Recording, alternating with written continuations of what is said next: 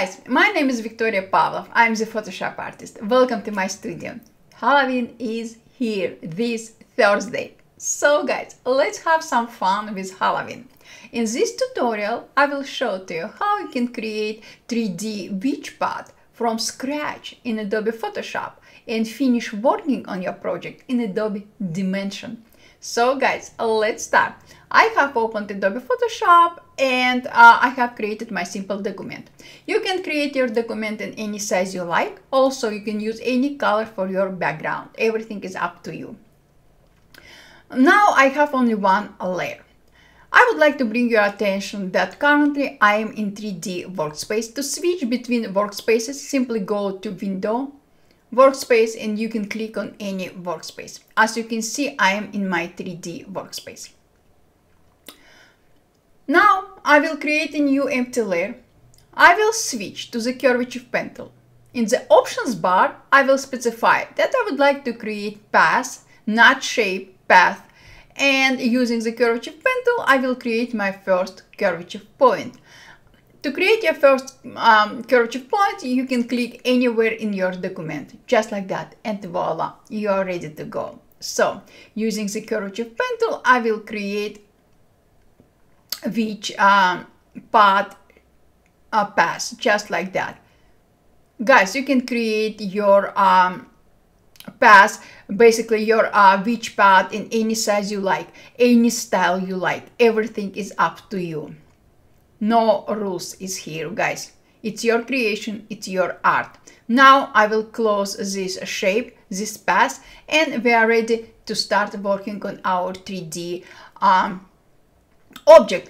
Uh, before you will start working on 3D object, uh, pay attention to your path. If you need to adjust anything, just right now using the same curvature pen tool. You don't need to switch to any other tool. Using same the curvature pen tool, simply adjust your path shape or shape if it needed, just like that. I like everything about uh, this path and I'm ready to start working on my 3D object. So in 3D uh, panel, I will specify source, work path, not selected layers, not current selection, not file, work path. I will click on 3D extrusion and I will click on create and voila. In properties panel, I will specify deformation axis to um, middle right, just like that. I will switch to deform workspace and here I will change horizon angle to 360 just like that. I will switch back to my um, mesh uh, workspace and I will adjust extrusion depths just slightly just like that to close this gap inside. And voila believe or not we are done what I will do now I will go to 3d menu and I will click export 3D layer. I will specify 3D file format. I will specify 3D format format to water um, Wavefront OBJ, just like that. I will click OK. I will specify um, a place where I want to save as this file. I will rename it pod, just like that, and I will click save, just like this. Now, I will launch Adobe Dimension and I will go File, Import, 3D Model, and here I have our uh, object we just created with you in Photoshop. I will click on it and I will click Open, just like that. Guys, don't be scared if you cannot see your object. You will see this white dot, click on it, and voila, how easy is it? First of all, I would like to adjust my horizon line in Adobe Dimension document. I will click on a uh, horizon tool. I will bring my horizon line down and I will change angle just like that. Now guys, what I will do, I will switch to a dolly tool and I will move my path on a distance just like this. And I'm happy with everything. So this is our path. Now, in Adobe Dimension, we have huge default assets. We have a lot of models. we have a lot of materials, lights, and also we have images. I will click on models um, library. I will scroll it down and here guys, um, we have a batch, uh, beach towel um, model. So don't, don't pay attention to a uh, beach towel. Just click on it, just like that. And voila! What I will do, I will use beach towel object as my um, uh, tablecloth. Simple. First of all, I need to resize it. I will click on a select and a scale tool. I will click and hold uh, shift key and I will resize it. I will make it bigger, just like this. Maybe something like that. Yes, just like this. I love it. Let's see. Mm, maybe not like this. I will switch to select and move tool and I will move my beach towel, my tablecloth like this. And I'm happy with it.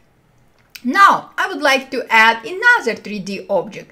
I will scroll my library down and here we have a lot of objects.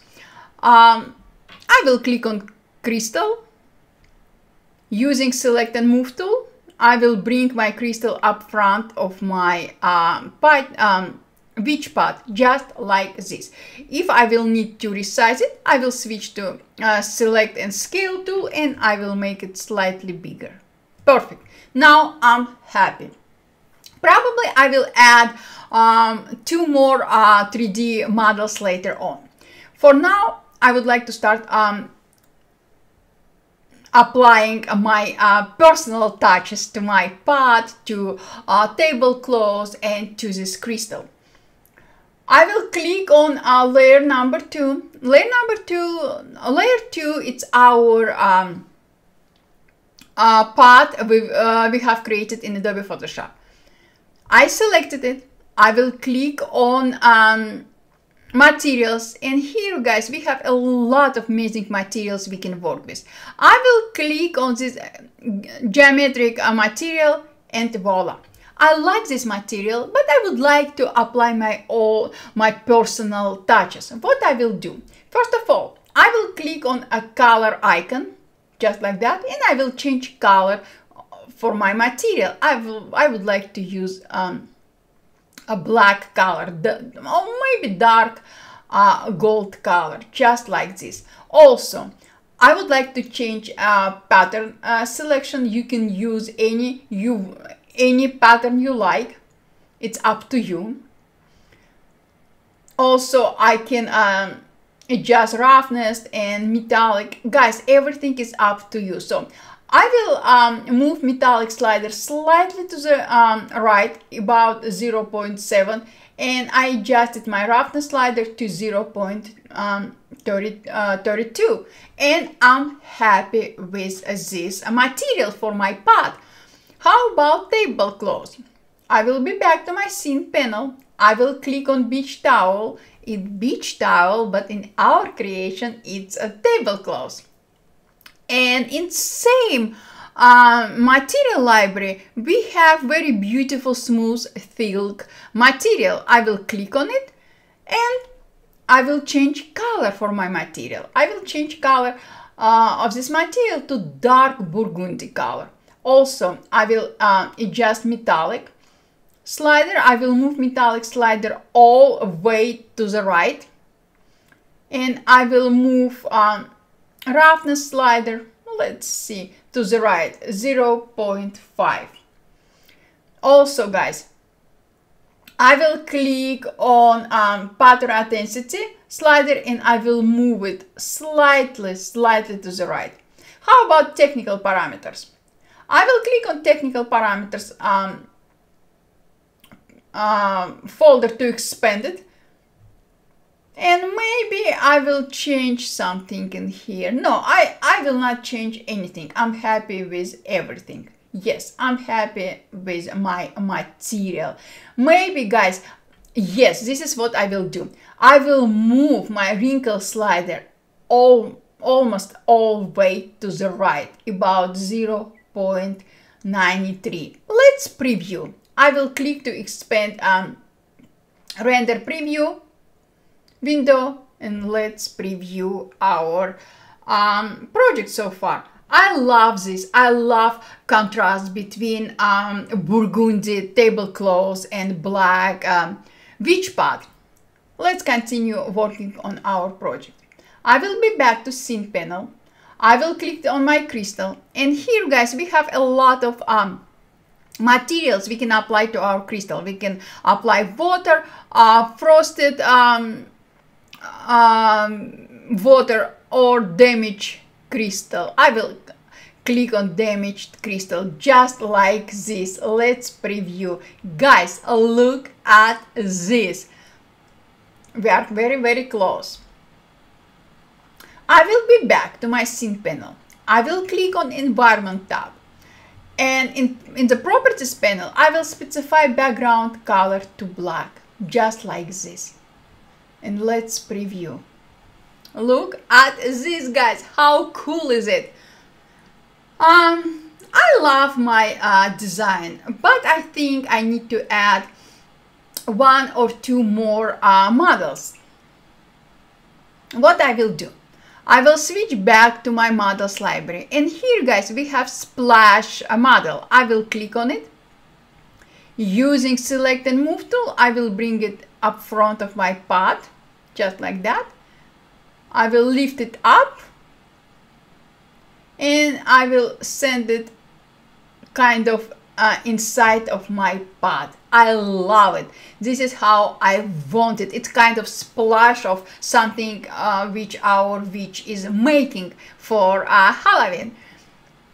I will switch back to uh, materials and here we have water material. I will click on it and voila, let's preview. Yes, I'm happy with everything. Time to start working on our light. I will switch to lights library and here guys you can see we have a lot of lights we can work with but because we are working on Halloween design on Halloween image I would like to create something very special for Halloween evening for witch house.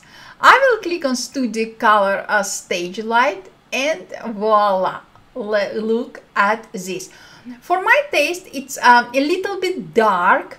Um, what I will do, I will move intensity slider slightly to the right. Maybe I will change rotation of this light. Yes, just like this. Let's preview, guys. Look at this. How awesome is it? Can we add extra personal touches to our project? Sure we can. to add my, a few more personal touches to my uh, project, I will enable sunlight light, just like that. Look at this, it's already something very different, something very unique. Uh, I can uh, increase or decrease intensity of my sunlight, cloudness.